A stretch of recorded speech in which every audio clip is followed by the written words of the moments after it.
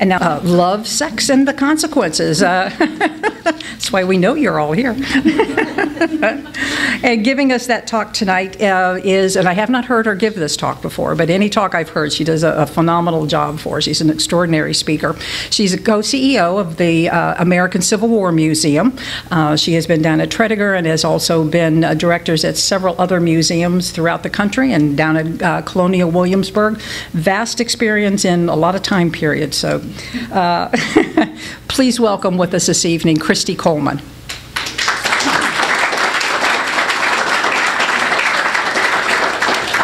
Good evening, everyone. Isn't Linda terrific? She's just, I don't know how she does it. Okay, so I will just tell you right off the bat there are no pictures. There will be no pictures, there will be no slides. Um, but hopefully, some of the descriptions and things that I will share with you, you will allow your own imagination to expand things for you. Um, as the description said, tonight's program, Love, Sex, and Consequences, is an intimate look at the American Civil War. Um, because really, we have this um, romanticism, if you will, about war right? We have these uh, images in our mind of the the, the soldier marching off with his forlorn lover trailing behind him and the kisses and the hugs when they come back. And yes, all of that happens, but there's a lot of other things that happen in the course of war. Some of them uh, not nearly as pleasant. Um, some of them can be actually downright criminal. And it also is a transformation of communities when this happens. So, Essentially, I'm going to tell you how I'm breaking this down for you to keep it simple, get your mind thinking about it. We're going to talk a little bit about just what were the sexual mores at the time. Now, as I was sharing with these ladies before we began, the pendulum around sexuality through time actually swings pretty far at different points in time to where we become really puritanical, very restrictive, to a much looser concept of human sexuality and, and how people are able to express themselves. And what's interesting about this is that um, as America was continuing to grow and change, it too was swinging in the pendulum depending on one's social class, because that really determined how you viewed this topic. So, 1840s, 1850s, there's some interesting things happening on the European scene, for example. Um, we are in a period where the pendulum is starting to swing a little bit more to, actually, let me swing this way, swinging a little bit more towards uh, increasing conservatism around sexuality. Um, and because of that, you know, there is a, among the, particularly among the wealthier classes, the onus of maintaining sexual purity was actually on women.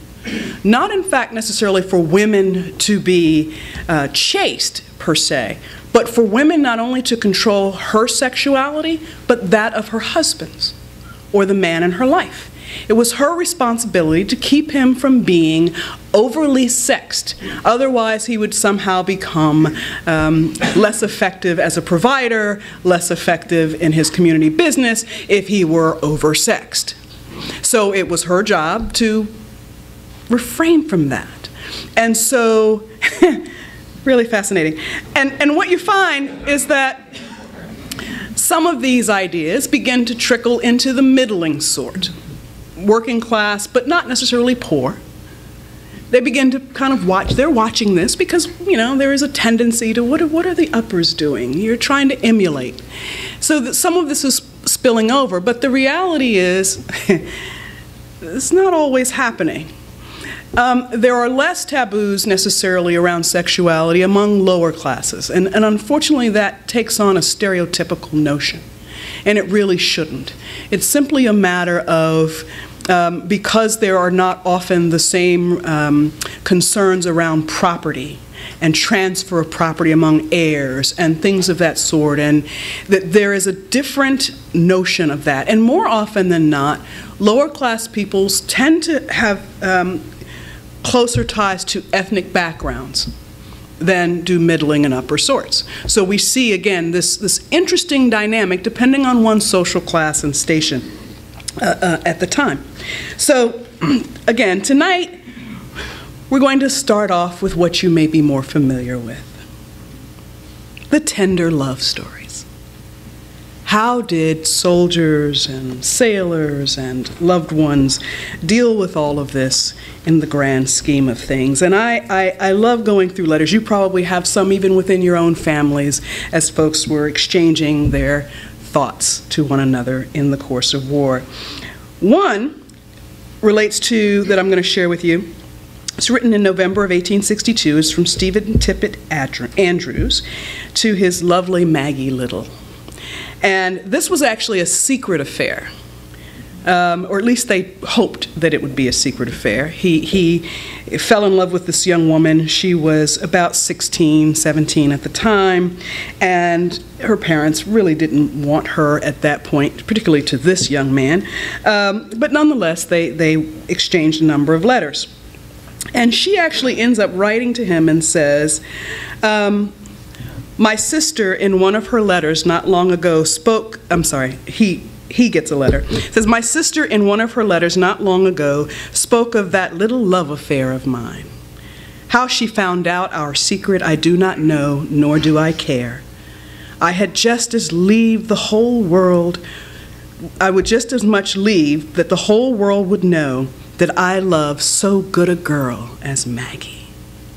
Right? Then we have another interesting one. This one is from September of 1862 as well.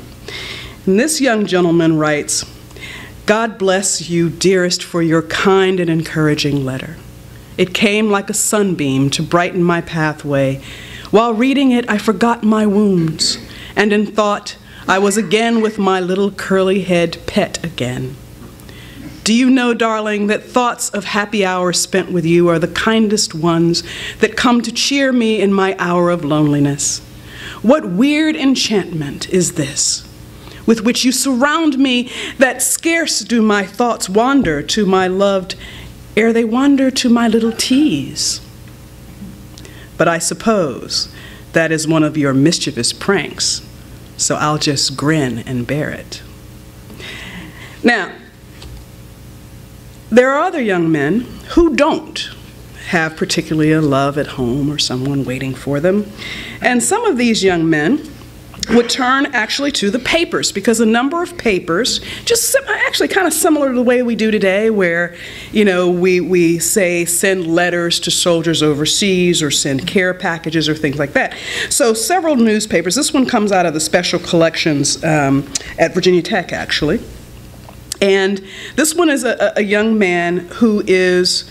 Um, writing back to a friend, a family friend uh, named Eddie, and he he's just lonely. He's just he just needs somebody. And he writes to her, I get lonesome sometimes and I do not know what to do. If I ever get out of the service alive, I am going to settle down and get married. What a novel idea that is. Perhaps you will not believe it, but I'm not joking.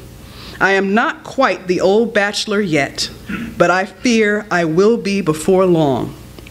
If you know of some good looking, amiable young lady that wish to change her situation in life, just mention the fact to her and tell her there is a soldier in the army that wishes to marry in less than two years after his time expires in the army. I am very truly yours. And then for the guys who went a little bit further with these newspaper accounts, right? Now, this particular gentleman, he's answering a letter. He actually started a, a pen pal relationship with a young lady named Hattie and he's from uh, uh, the 11th New York uh, Battery. This letter is written in February of 1864. I'm not going to read the whole letter because actually I probably should because the entire letter is really hilarious. This guy has an amazing sense of humor. He's it's you'll begin to see. Dear Hattie, pardon the affectionate familiarity, but you know it's all in fun. Your charming little epistle has just reached me, and I do myself the honor to answer it immediately, thus complying with your request to write soon. Before, before proceeding farther, truth and candor compel me to acknowledge that a little deception was used in the advertisement in the Waverly. In other words, my true description differs materially from the one therein set forth, and may not please you as much as the one fancy painted. But I thought it was all for fun. Therefore, funnily gave a fictitious description as well as a cognomen.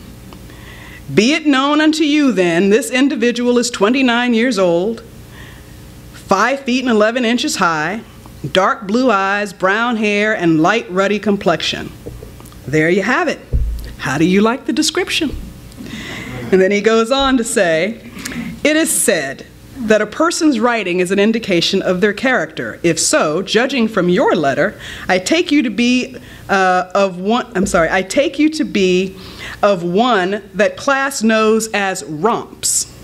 A class, by the way, which I rather admire. Commend to me a girl who has life and animation enough to enjoy the harmless pleasures of this beautiful world. In preference to your Miss Prim, who would not dare laugh in louder tones, no, indeed, none of your Miss Prim for me. I love the gaily ringing laugh of a true and gladsome heart. Of course, I would not have a young lady act in an imbecilic or unbecoming or unladylike manner. But I believe in giving free scope to thou joyous feelings, implanted in the soul by a wise and kind Creator to cheer us through life's checkered pathway. so he then, in this particular one, he ends up actually sending her an image of himself and they do continue to write. I have no idea whether he actually ended up marrying Hattie or not, or if he ever actually met her. But the mere fact that this guy, I have my own picture of him, is just a just a fun-loving guy, who, again, this idea of the pendulum kind of swings a little bit, right? So th there you have it. Now. Other soldiers who may not have had a love at home, or a girl that he's writing, or a forlorn heart, or more restraint, or just had natural inclinations because they are young men, right? Found their pleasures elsewhere. Uh, whether it was with young ladies that they came through as the armies were moving through, young women made themselves available some of them were young women who were left behind as fathers and brothers and soldiers went away.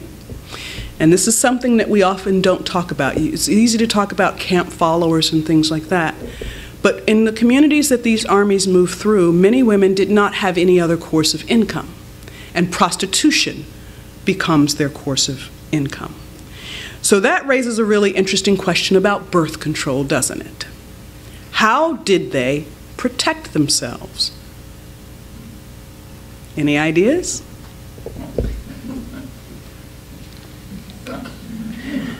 None? Not a one? Well, hmm. there are six major techniques known during the time of the war to prevent unwanted pregnancy. They hadn't gotten to the point where they could prevent uh, disease, but they could, to a certain degree, control pregnancy. And there were six ways that they did that. Of course, there was coitus interruptus, right?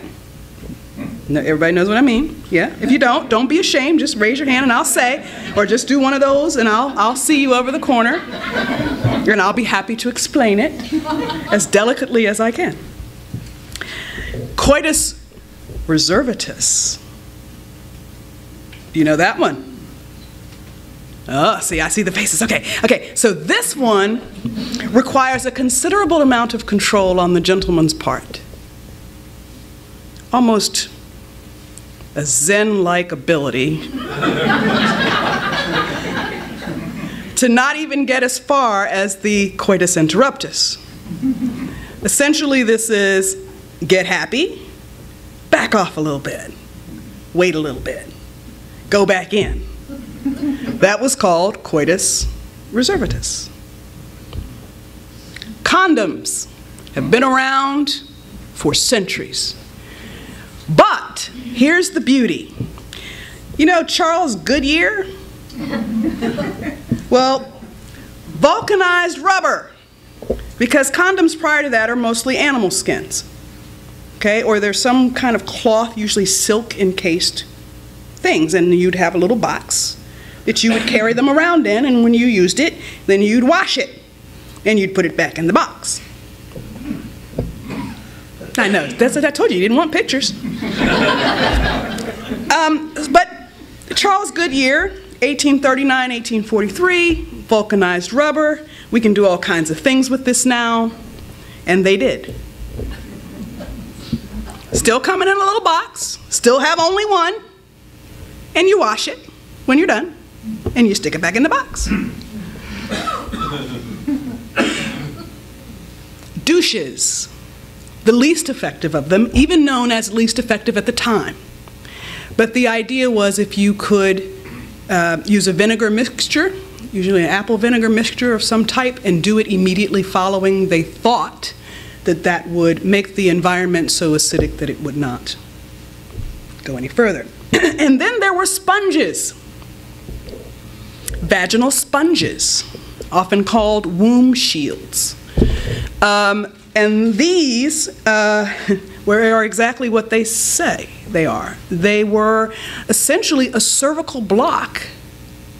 And so women would insert um, sponges, and, and this would absorb and block, and it proved to be a, yeah, all of this is going on. In, I mean, all of this is going on. This is not new technology at the time.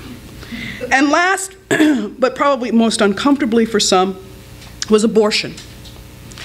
Um, and there were three primary ways that abortion was, was uh, done at the time.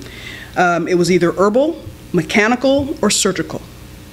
Most frequently, it was herbal and mechanical, but, and by herbal, they, they snake root, ergot, um, cotton root was particularly big in the South, was the one that was used most in the South. Um, mechanical, they had actually pumps, which I can't even imagine, but they had pumps that uh, vacuum pumps.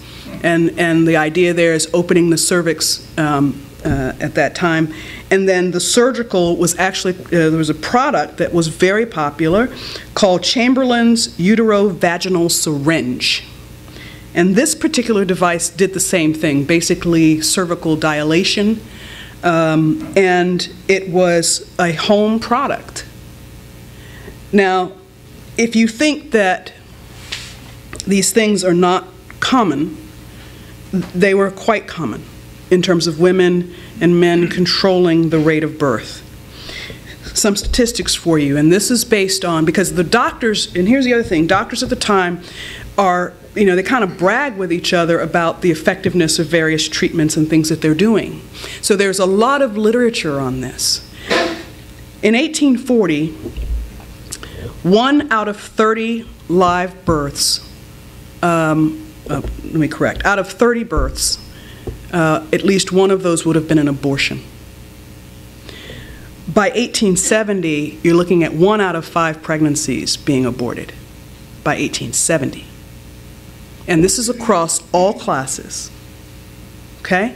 So this is a this is a method of birth control at the time that was you know accepted. Yes, there are absolutely religious groups at the time who were who were horrified by this reality, but these were things that could be purchased in the mail that were advertised freely in newspapers. Um, they often um, used interesting language to describe what they were, but you would also see the word abortif, uh, abortifacient, uh, I think I'm pronouncing that correctly, um, just advertised that you could order these things and, and they would be sent to you. Um, so here's the thing I mean, something is happening, and it's not abstinence. Because The average woman in 1800 has seven children. Hmm. By 1870, the number is down to four. By 1900, it's three and a half. And we know today it's roughly 2.2 to 2.5 because women were controlling their birth rates, their family planning. Moving on. So let's go back to the oldest profession, shall we? Because there's some really interesting stories there. Um, the most fascinating to me is, is a story about um, a group of prostitutes in Nashville. Now, in, now here's something that, especially for the Confederate soldiers coming into major cities, many of these young men had never seen some of the things that they're seeing when they come into these cities. Um, and yes, every community had houses of ill repute. Every city. Richmond, oh my lord. Um, all you have to do is look at the newspapers at the time. Somebody's getting arrested for some rowdy behavior or for soliciting or you, you name it. Because at the time, interestingly, they are charging men and women, uh, which is kind of nice. But, um, but nonetheless, there was a group of prostitutes, Nashville, a lot of them, registered. They know who they are. The registered words, anyway, were about, you know,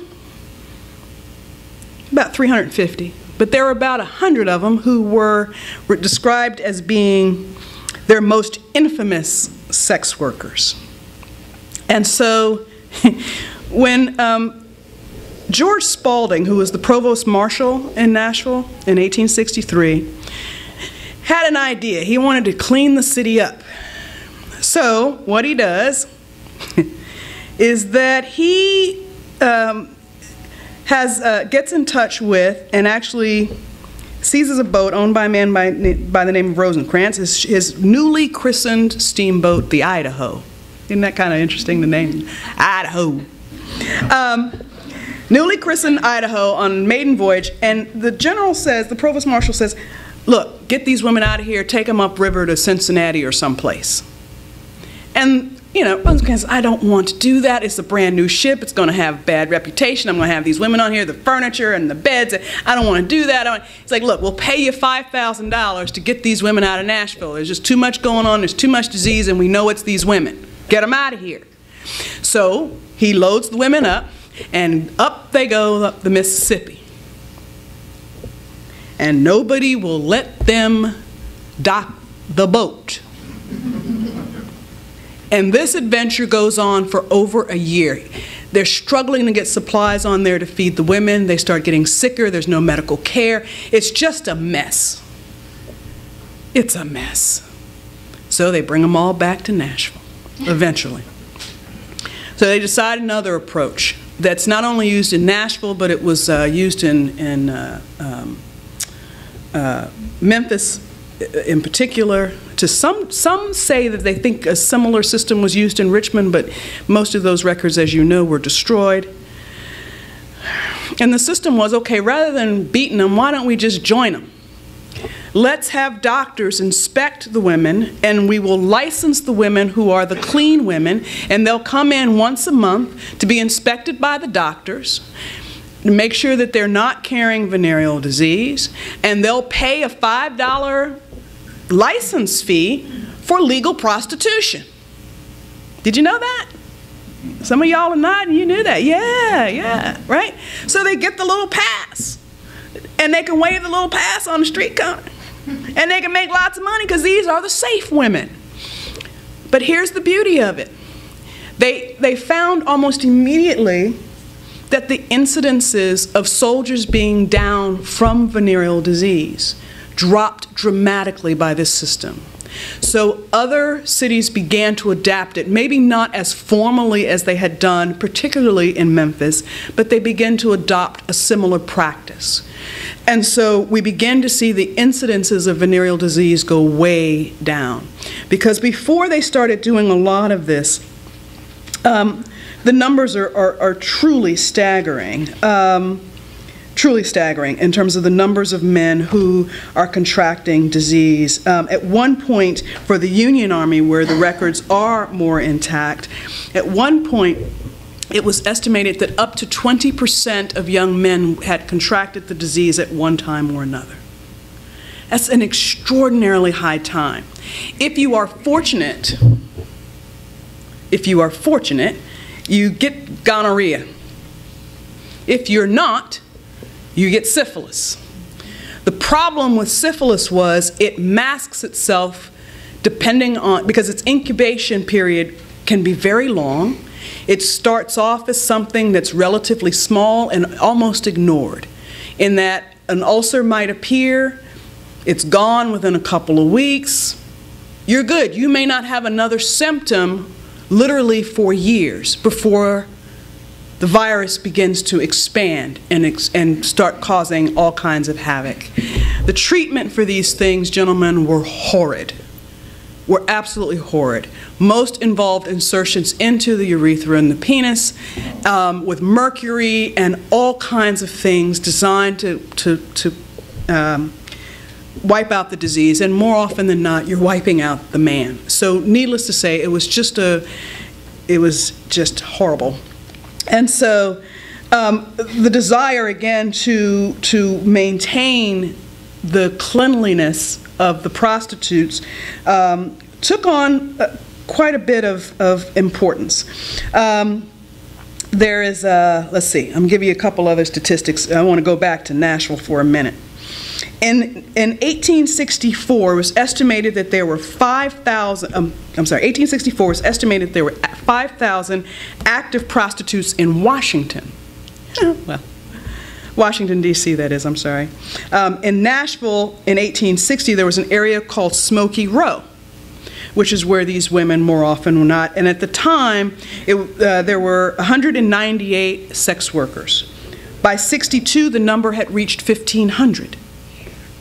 By 64, only 352 of these women were licensed, but they were making, they were earning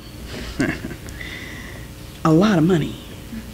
Um, these women were earning, some of them, imagine this for a minute, because it, it, would be, well, prices varied. Um, but these women could make 25 to $30 a week or more.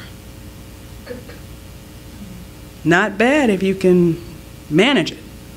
And many of them didn't have any other choice. And that's another point that I, I really want to lay on. When you're talking about would you rather starve to death or would you rather find a way to support yourself and or potentially children and there are no other options for work for you you can try laundering but if you're getting paid you know 10 cents for a bundle of clothes or whatever the price point is that is not going to feed your children that is not going to feed you. That is not going to keep a roof over your head. And so, for many of these women, that was their choice of work. They became sex workers. Towards the end of the war, New York City, they estimated that 2 to 5 percent of the female population was engaged in one way or another in the sex trade. And it may not seem like a lot, but think about, and this is a major American city even in 1860, 1865. 2 to 5 percent of the women were involved in the sex trades. So this was very real. But we've already talked about what happens when one spends the night with Venus. They wake up in the morning with a lifetime of Mercury.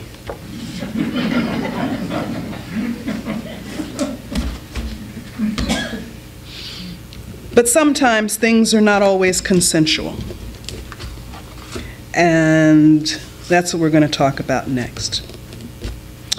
In this section, I refer to as without want or consent and sexual assault in the military. Again, Confederate records are destroyed on these points. Um, there, are, uh, uh, there are some exceptions um, in terms of newspaper accounts um, that are really difficult to determine the range or nature of the crime. uh, because of the description, descriptions that are used in the paper. But uh, if victims are identified as women, um, one can presume, since they are not talking about property crimes in particular, that this is happening. In the Union, again, there are far more records about this.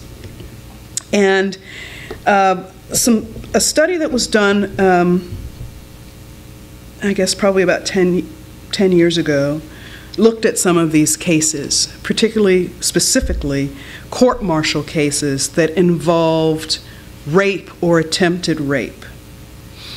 The ranks of the accused range from privates to lieutenants. It's interesting to note that no uh, officer above the rank of lieutenant was ever had charges brought against them. It is also important to note that there is considerable dif difference in what happens during these cases, uh, whether the soldiers are black men, white men, officers, or enlisted. It's the other thing is only 58% of the cases, let me back this up, of the 100 cases of rape, 58 of them would be charged with another crime. So here's the thing it was very rare, well, I shouldn't say rare, it's more common to be charged with rape or attempted rape if you are also being charged with larceny or some property crime. To simply be charged with rape or attempted rape um, is something that, because of, again, the mores of the day, even how people think about that um, becomes really testing. Um, because we victim blame, and they certainly did it at the time. Um, a lot of the cases that I read, you see that. You know, um, course, we can't say what the woman was wearing because they're all virtually covered up, right? But it talks about behavior of these women loose tongued. Uh, she was drinking. She was in the presence of, of men without an escort. She was, you know, you have these very uh, patriarchal um, examples and things where they are, again, going after the victim of these crimes. Of those men charged, and again, this is the court martial cases, 50% of black men charged with rape or attempted rape were executed. 25% were acquitted. Another 25% were assigned to hard labor. In cases involving white males, only 20% of them would ever be executed for the crime. And more often than not, as I said, it is often tied to property crime or something that was done so considered so heinous to the woman beyond sexual assault that it warranted execution. 22% were acquitted, 68% given hard labor. And again, it should be noted that among white men, none above the rank of lieutenant were ever charged with, nor could they ever face the threat of execution. However, among black soldiers, rank made no difference in terms of protections. Of the victims of the cases, these particular 335 cases of record, among the victims, 20 were identified as black women. Only one of those women saw her accuser convicted. That case was where a white soldier um, was convicted of raping an enslaved woman, and her name was Harriet Elizabeth McKinley. And it was the first time, uh, according to the scholar Sharon Block, it was the first time that a white man had been convicted of raping an enslaved woman in the survey of cases that she had done between 1700 and and 1865.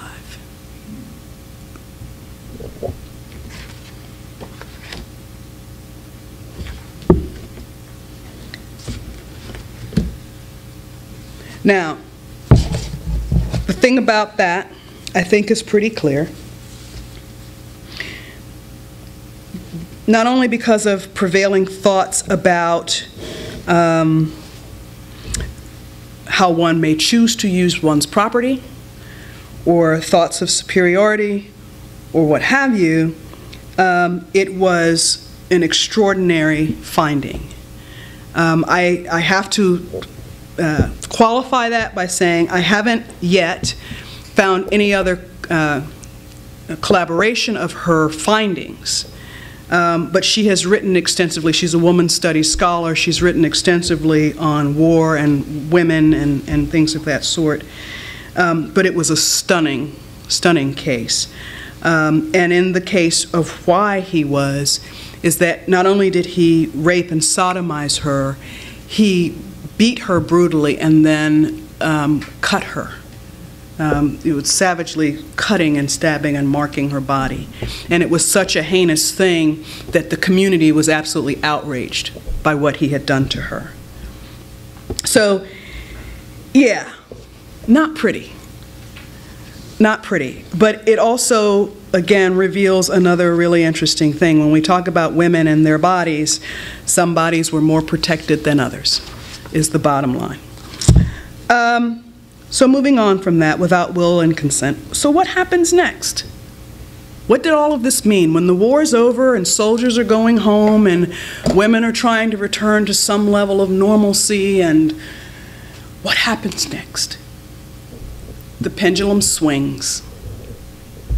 We move back into very conservative, puritanical ideas about sexuality we move into the Victorian period. Right? So all of this somewhat freedom and exploring and controlling one's body goes completely away. It won't come back, swing back until the 1920s. It's like a 50 year cycle. And it always seems to be around war. Whenever there's war, we get a little loose. It wouldn't be until World War II that extended conversations and actually the army doing even more to cut down on venereal disease. Because world war i we know it was devastating because of sexual transmitted diseases were a big deal. So by world war ii not we are not just saying boys wrap it up. By world war ii there are all kinds of posters and banners and they're distributing condoms. They are doing all kinds of things to protect the soldier. Because if you think about it, if the Army stats are even remotely similar to what was happening in the Confederacy, if you're losing one, of, one out of five of your soldiers because of sexual disease, that's a problem. That's a very real problem. And so it goes. But after the war, there's an interesting man in the U.S. His name is Anthony Comstock. Are you all familiar with the Comstock laws? Okay, this became, he was, whew, talk about puritanical. He uh, really, really thought it was absolutely disgusting that soldiers were receiving um, French nudes, basically pornography. There were, and I, excuse me, it's pornographic. It's not just nudes some of these images of men and women doing what men and women do, and some uh, are really, um, they are in the National Archive. I mean, you can, they're there. I mean, these cards that would be sent to the soldiers in the field, both sides of the Army, you could order them through a catalog. You could order condoms through the catalog. All those, you know, all of those devices and things that I talked about could be ordered through the catalog. So Comstock says, look, we got to cut all that out. Stop using the United States Postal Service for obscenities. And believe it or not, he considered birth control to be an obscenity. And he actually was able to um, have a all of this. Uh, he was he was a he was a kind of a tight dude. Um, You know, he, he fought against alcohol and gambling and tobacco and atheism among the troops, and he, you know, he just he had all this kind of stuff, and he he he was deeply concerned that uh, the the ease with which soldiers were able to get any obscene this is quote any obscene book, pamphlet, picture, print and other publication of vulgar and indecent character through the mail. So he took it upon himself to rally members in Congress to get what became known as the Comstock laws passed that prevented these items from being transmitted through the mail. And again, it began a cycle. Shops were actually raided and closed down for selling them, even though they weren't transmitting things through the mail anymore. You'd actually have to go into the pharmacies to get these things or go into the shop to get them. He was relentless, and, um, and the damage that he caused, some believe, actually caused a spike in some of these diseases again because of what Comstock done. The readily available um, protections were no longer there. So um, that's it, gentlemen and ladies. I'm trying to be sensitive to the time. Um, but there you have it Love, Sex, and Consequences An Intimate Look at the American Civil War. If you have any questions, I'll be more than happy to take them now. Yes? In the McKinley case that you mentioned, um, was the perpetrator her, her master or someone else? Soldier. Wasn't any, any relation to her at all. Okay. Who brought the, the the suit? Um, I believe it was uh, one of the relatives of the people who did own her.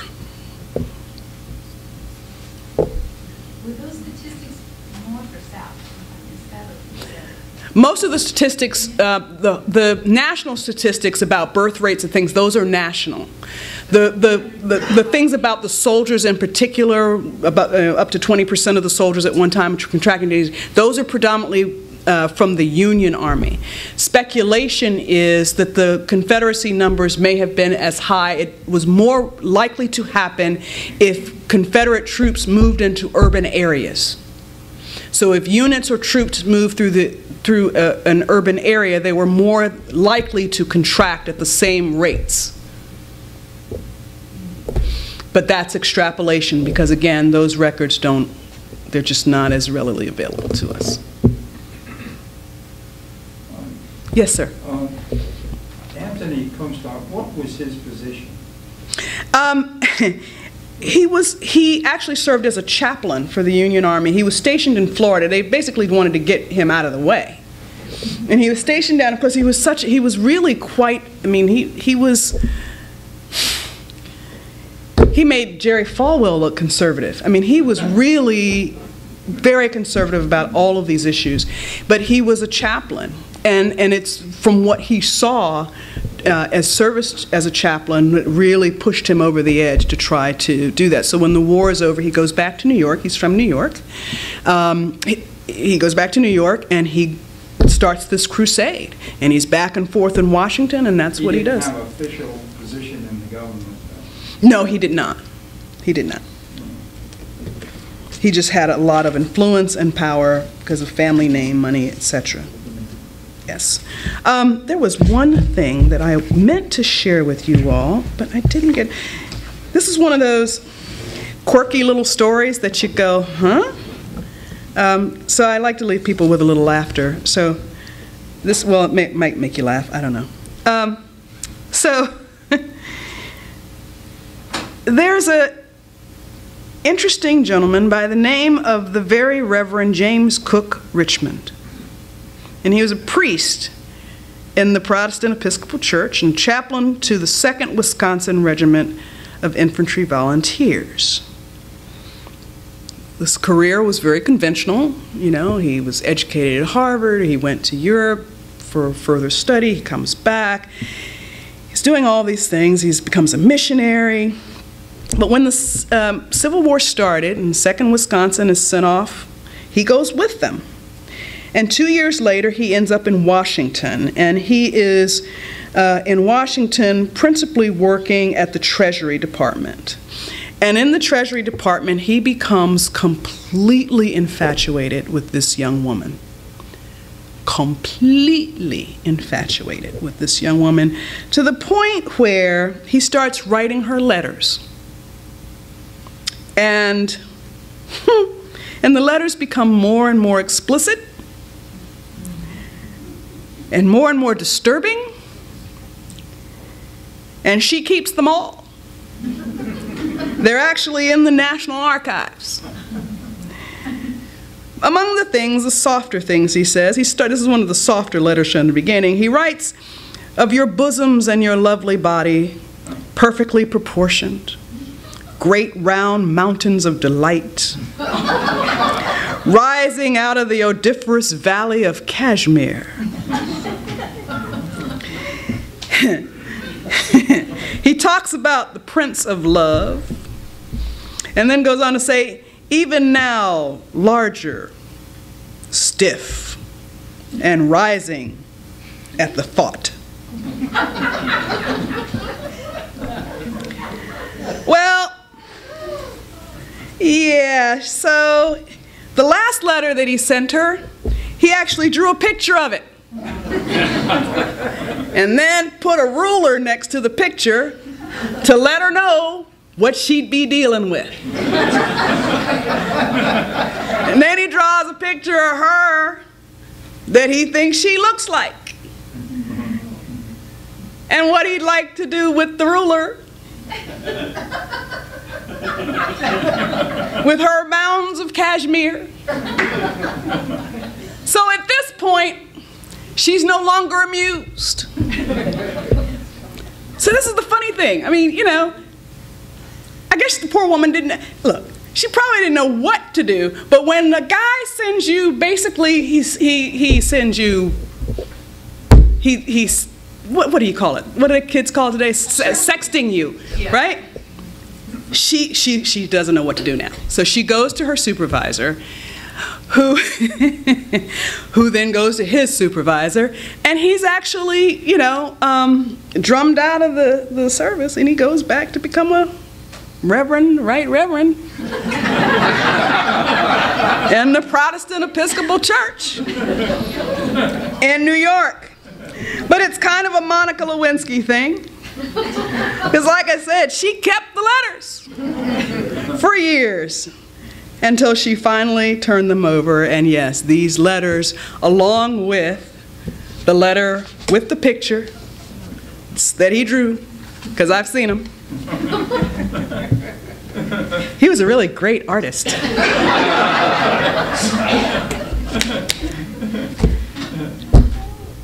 it happened. People are people. Last question. That's going to be a tough one to follow. after World War II, all these British war brides came back with the troops. Mm -hmm. I, I know one situation in South Antonia Ford, who was arrested as a Confederate spy and ended up marrying her jailer. But were there much in the way of what we would call war brides being brought back from the South by the troops that had come in that had occupied the South? No. Doesn't appear to be.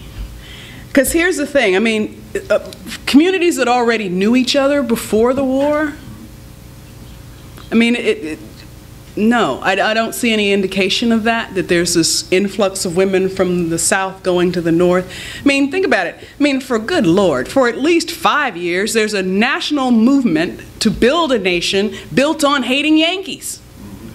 Yeah. So, if you really want to upset your family, I mean, good Lord, think about what happened to poor uh, uh, Davis's child, right? She wants to, you know, that's just not going to happen. Right. So, the only possibility is the woman looking and saying, hey, half the eligible guys aren't coming back. Yeah, there, that, that's one. And then there's, you know, other things that happen. Multiple families and, right? Mm-hmm. Those things we don't talk about, right? We don't talk about polygamy existing, but it does may not be legally married to anybody, but the family down the road a piece, y'all got a few of those down here too, don't you? I know we do in Williamsburg, where I'm from. Uh, but anyway, to behave myself. Anyway, I thank you all so much for coming out. We really appreciate it. And we'll see you at the next event.